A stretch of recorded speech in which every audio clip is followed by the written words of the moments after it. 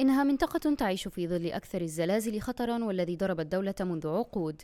المقيمون في منطقة آتشي الإندونيسية بحالة عدم استقرار بسبب الهزة الأرضية الأخيرة. حولت الهزة الأرضية المباني إلى أنقاض ويبدو أنها شردت المئات من الأشخاص.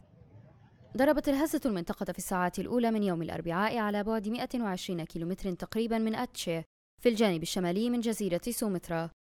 تظهر صور من هذه البلدة دمارا واسع النطاق. الناس تملأ الشوارع بينما ينقل المصابون إلى سيارات الإسعاف. وسط الفوضى انتشر خبر جيد إذ أعلنت السلطات أنه لن يكون هناك تسونامي. لكن الخوف ما زال يطارد هذا الجزء من العالم. فقبل 12 عاما قتل 120 ألف شخص على الأقل في محافظة آتشي وحدها.